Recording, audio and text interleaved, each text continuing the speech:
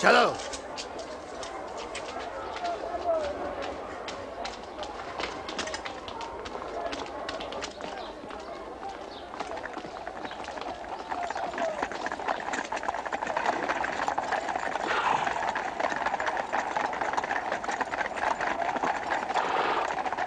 वो उन्हें पुंतियुस पिलातुस के पास ले गए, जो रोमी हुक्मरानों में सबसे ज़्यादा वैशी और हज़ारों को सलीब पर चढ़ाने का जिम्मेदार था।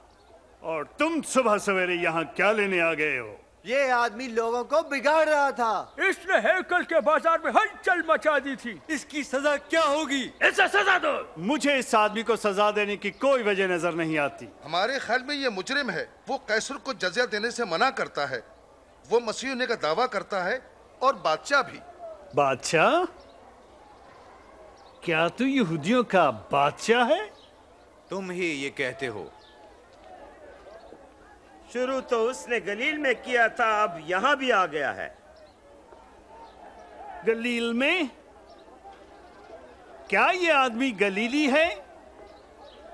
फिर इस मामले को हेरोदीस निपटाएगा। वो अभी यरूशलेम में ही है ना? इसे वहाँ ले जाओ।